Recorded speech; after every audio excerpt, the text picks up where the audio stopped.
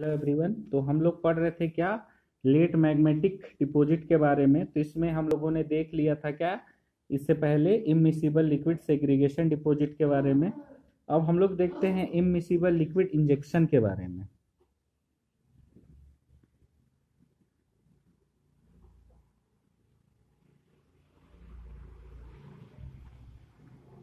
Immiscible liquid injection deposit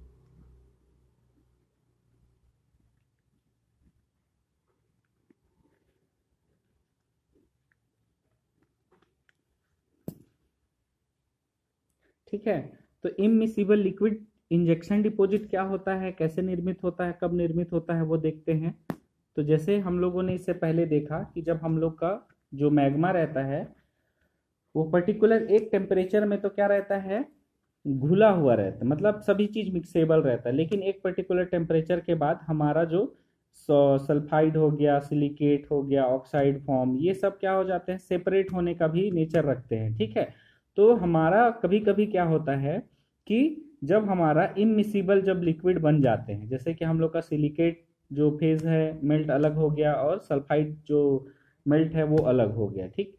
तो जब ये दो फ़ेज़ अलग हो जाते हैं तो अब जब ये दो फ़ेज़ अलग हो गए तो अब अलग होने के बाद जब इसमें कुछ भी डिस्टरबेंस होता है, कुछ भी जैसे कि अब इसमें थोड़ा सा भी डिस्टरबेंस मतलब कि कुछ भी प्राकृतिक कारण से हम लोगों का कुछ अर्थक्विक का इफ़ेक्ट आया या तो फिर कुछ अलग, कुछ भी इफ़ेक्ट पड़ा, तब ये जो इमिसिबल लिक्विड है तो ये क्या हो जाते हैं, अपने आसपास के जो भी शैल रहते हैं, तब उसमें जो भी दरारें रहती हैं या जो फ्रैक्चर्स रहते हैं या तो फिर जो उसको जाने का जो जगह मिलता है, तब वहाँ जा करके क्या हो जाते हैं, ये जमा हो जाते हैं, ठीक है?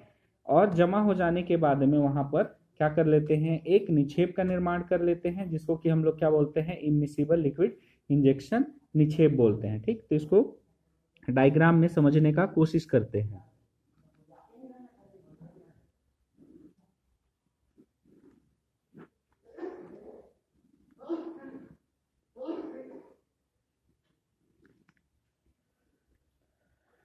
ठीक?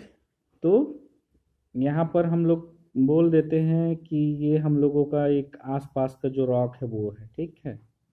और यहाँ पर हम लोगों का जो मैग्मा है, वो दो फ़ेज़ में बढ़ गया है।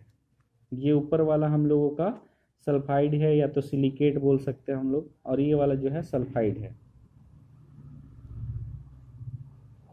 सिलिकेट मेल्ट, और ये हो गया हम लोग का क्या? Sulphide melt.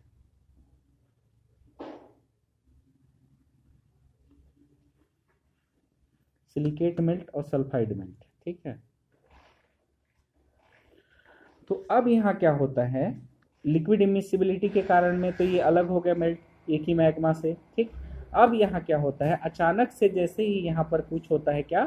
डिस्टर्बेंस यहाँ क्या होता है? अचानक से किसी कारण से डिस्टरबेंस होता है तो डिस्टरबेंस के कारण में डिस्टरबेंस के कारण क्या होगा यहाँ पर? अब हो सकता है शेकिंग इफ़ेक्ट पड़े या कुछ भी इफ़ेक्ट पड़े तो डिस्टरबेंस के कारण में यहाँ पर जो भी हमारे जो मिनरल रहते हैं, या तो फिर जो मेल्ट रहता है, ये मेल्ट क्या हो जाता है? अपने आसपास के जो सेल रहते हैं, उसमें क्या कर जाता है? इंजेक्ट कर जाता है। मान के चलिए, ये जो हम लोग का सल्फाइड मेल्ट था, ये क्या हो गया? यहाँ से इन सब में यहाँ एक दरार पड़ गया था तो वहाँ ये क्या हो जाता है? इंजेक्ट हो जाता है, मान के चलिए, ठीक है?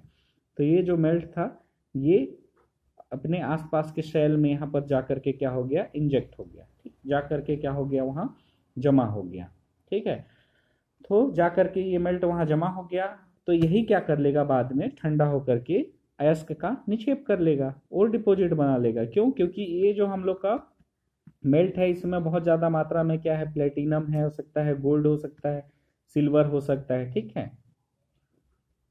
तो इस प्रकार से हम लोगों का एक अयस्क का निर्माण हो गया। अयस्क निक्षेप का निर्माण हो गया, ठीक? तो इस विधि से बनता है हम लोग का क्या?